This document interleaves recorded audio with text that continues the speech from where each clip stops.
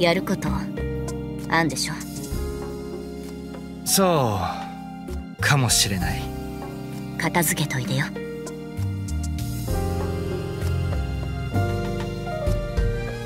あのお笑いコンビにはたんまり貸しがある。きっちり取り立ててやるぜ。ここで俺たちを殺したって。それはお前の勝ちじゃない。では答えを見せようおいおいマジかよ。